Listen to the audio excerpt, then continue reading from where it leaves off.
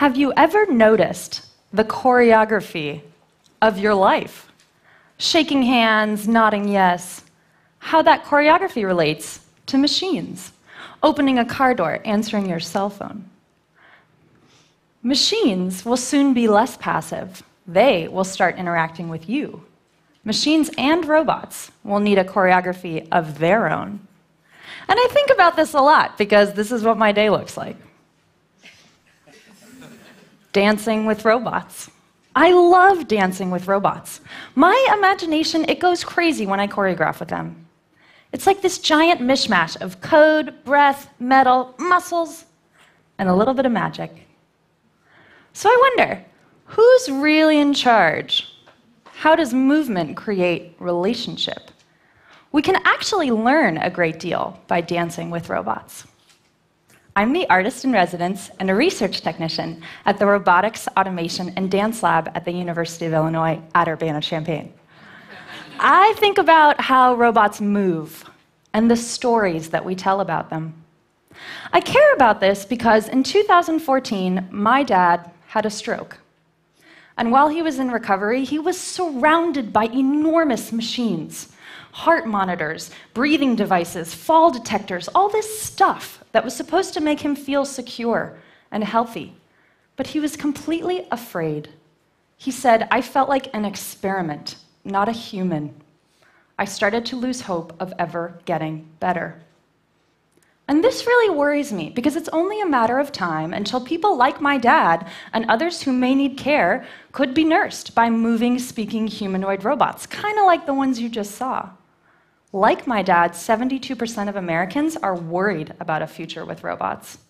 The numbers are not much better for countries like Japan, England, China, and the Netherlands.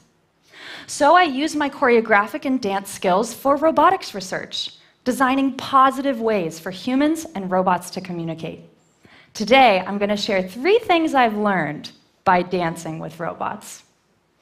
Number one, fear, not the only option when it comes to robots. This picture is from one of my first days in the Rad Lab. This Baxter robot is usually designed for manufacturing and research, six feet high, super loud, very intimidating. Think of all the feelings someone like my dad would have about this robot fear, confusion.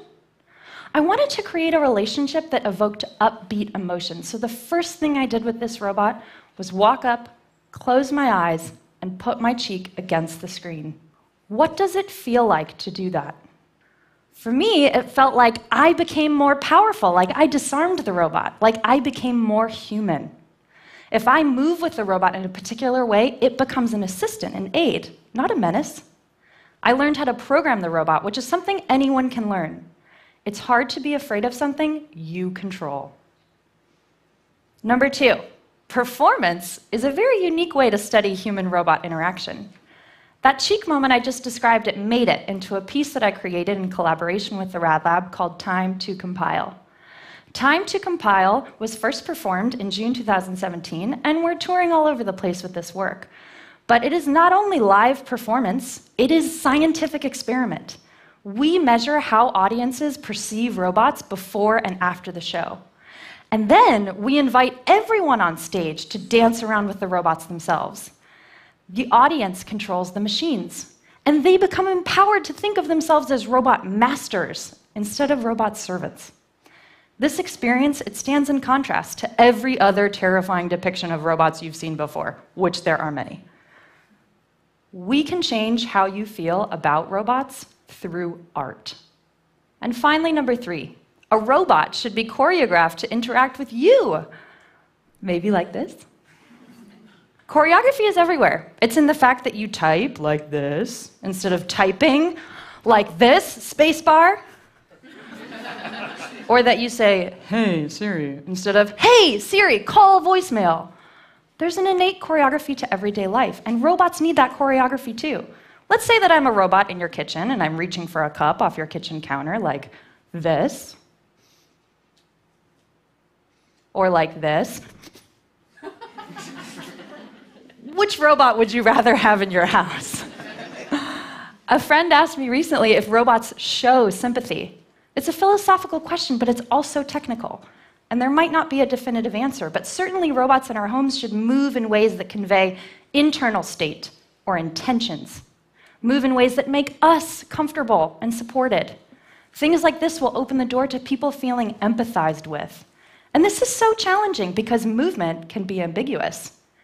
If I wave like this, like this, like this, those three are pretty easy.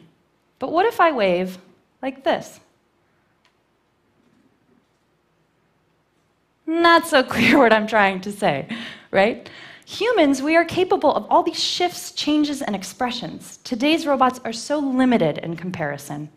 How movement translates into interaction and communication between humans and robots is an enormous, open question, one that needs to be explored by people with diverse viewpoints. This is just a sample of what we can learn by dancing with robots. And we use these lessons to design more positive human robot interactions and more expressive robots. My dad made a full recovery after being sick. And a couple months ago, I sent him some of these videos. He watched them and goes, Whoa, that robot! It looks sensitive, kind. You don't look scared at all. How do you control it? Even my dad, like our audiences and like all of you, can have a feeling of empowerment when it comes to robots, which is why I firmly believe we should be optimistic. Robots have so much potential to improve our lives, but it's a collective effort. And robots are a reflection of the people who made them. And we need more people from different backgrounds to be a part of creating them and telling stories about them. The future becomes less equitable and inclusive when we're afraid. So let's have a dance. There's so much to discover. Thank you.